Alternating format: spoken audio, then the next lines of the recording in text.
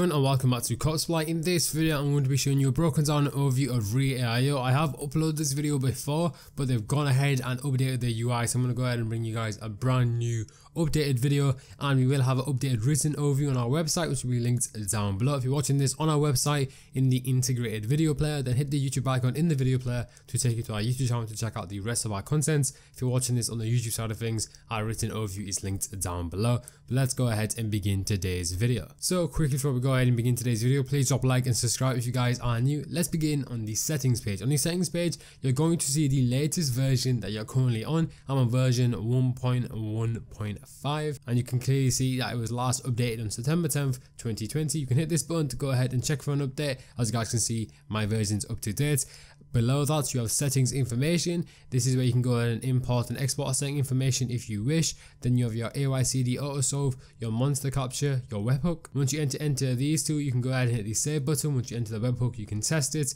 and then for delays you have checkout, monitor and retry and obviously you can go ahead and configure it with the sites. So you have Supreme, Foot Size, Yeezy Supply, Nike, JD and Finish Line. The default is already here but if you want to go ahead and specify something then you can change it. If you wish to reset all this to default you can hit this button. If you wish to update everything and save then you can hit this button over here. So you have the captcha harvester tab here. I'm not going to cover that right now. I'm going to cover that before we go ahead and end the video when we create a task. But let's move over to the account section. This is where you can go ahead and create account group lists that you can go ahead and use with your tasks. So you can create it for Nike, Nike US gift card, Nike GB gift card, Nike Japan gift card, Nike US promotes, Nike Japan promotes, and Nike GB promotes. So I'm just going to hit Nike here, hit the plus button.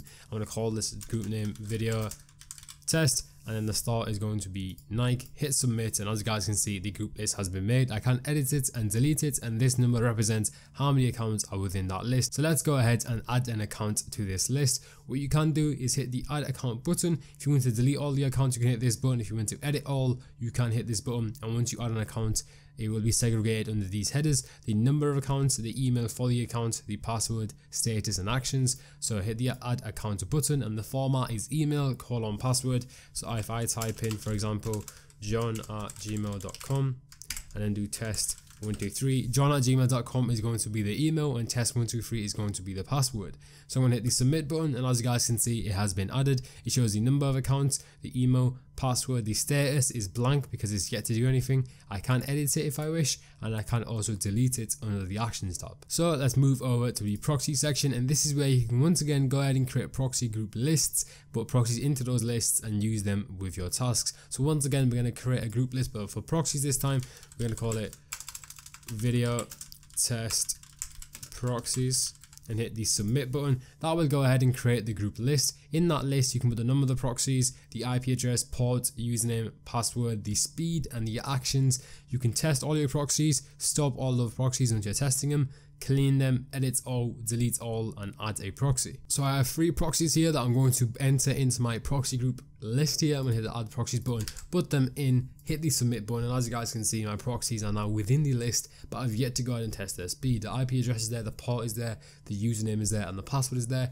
Let's go ahead and test their speed. So the actions that you can do with these proxies, delete them from the list individually but let's go ahead and test them all. So hit this button, you can go ahead and select the store and the delay. So I'm going to go ahead and hit the store here, also do the delay, then we can test them. So I'm going to hit Foot Locker, uh, uh, I'm, gonna, I'm gonna do Nike GB. For delay limits, this is where you can go ahead and customize your delay. It recommends a thousand as you guys can see, but I'm just gonna put in a thousand like so. Hit the test proxies button, give it a moment. So as you guys can see, the top two times out, but the bottom one came back with a successful speed of 667 milliseconds. So as you guys can see, that's how the testing proxies section works. You can clean them as well. So if I hit clean here, as you guys can see, the proxies that were timed out were cleaned out. But let's say I had like a thousand proxies in here and I tested them all and I didn't want to scroll through all of them and individually delete the ones that were bad.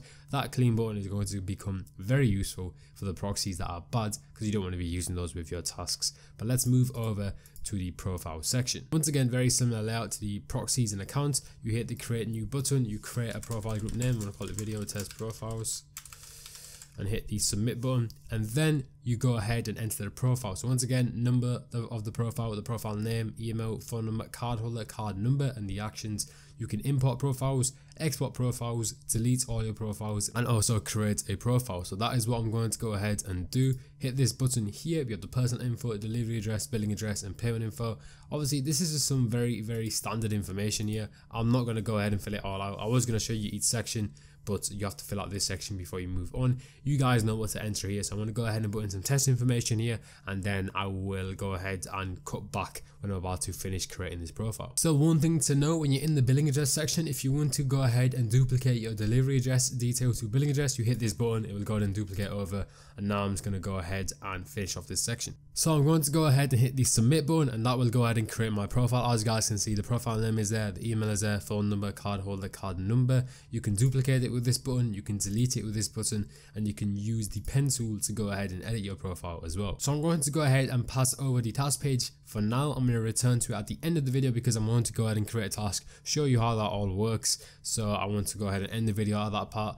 But let's go ahead and move over to the dashboard page and this is going to show you a bit of the information regarding the bot as well as your license. So it'll show your license type which is a renewal. My key expires in 45 days. I can go to the dashboard to renew. As you guys can see this is a calendar of the upcoming drops and at the time recording this video it is the 7th of February 2021 so I can go ahead and hit through the variety of days here and it will show me the releases that are taking place. When I click it it will go ahead and open it up on StockX or any type of marketplace but you guys can see that there is releases here. So this is pretty useful so you can see what the prices are for these products and how much revenue could get if you went for these releases. Then on the right side, you can see your checkout analytics in the day, week or year format. I'm going to stick to year for this example. You can see your checkouts, obviously in the scale it's given you, and then it shows your money spent and your total checkouts over here. So the blue represents the total checkouts and the pink represents the money spent. So you can select the individual size as well and uh, link that to the year, week or day. It's completely up to you but I'm just going to leave it on all sites for this example. Then for your checkout history, you can search through it if you have a ton, and then any type of checkout that comes through, it'll be filtered under these headers, which is the number of checkouts, product, store, size, profile, date, price, and the action with that checkout. Now finally to conclude this video we're going to go ahead and cover the task page also cover the captcha harvester as well and create a task within the bot. So we go ahead and create a group list once again whether this is regular or restock you can go ahead and choose. I'm going to go ahead and hit regular for this video. You hit the regular button this is what is going to pop up. You go ahead and put in the task group name I'm going to call it video test tasks you hit the store so i'm just going to go with Nike GB for example. Actually i'm going to go with supreme. I'm going to go with that for this example. For timer i'm not going to put a timer on here. It is based on your local computer time so make sure that is correct but hit the submit button once you're done and that is what the group's going to look like. The timer is 000000 because we haven't said anything. You can delete it and you can edit it as well. This shows uh, what type of task group it is whether it's a regular or restock and this shows the amount of tasks within that group. Now for your task analytics, you can see all your tasks and it shows how many tasks there are, what percent of them are ready, what percent are carted, and what percent of them are successful in checking out the product is going for. For the task list, you can start all of them, stop all of them, edit all, delete all, and create the task. Once you create a task, it will be segregated under these headers, the number of tasks, the product, mode, profile, size, proxy, status, and the actions all attached to the individual task you go ahead and create. So let's go ahead and actually create a task here. So let's hit the create task button. This is what it's going to look like. The store has already been selected because we hit supreme on the task group list. For category, we can go ahead and select the category. For keyword, you put a keyword in there. Profile group, you select your profile group. Color, obviously for your profiles. This will go ahead and pull out the profiles in that group. If you wish to use all the profiles you can hit that as well. You can choose the size your proxy group whether you want to use a proxy group that we've created as well the mode quantity and copy number. Now keep in mind this task creation process will differ depending on the site you go ahead and click. Obviously if i were to click Nike GB for example the category section wouldn't be there and these wouldn't be there because this is for Supreme. So keep that in mind. If it does look different, it's probably because you've gone ahead and selected a different task or you're looking at this at a later date where they've changed the way this looks. So you can go ahead and enter these details and we'll go ahead and create a task. I'm going to go ahead and put in some random details here so I can show you actually being created.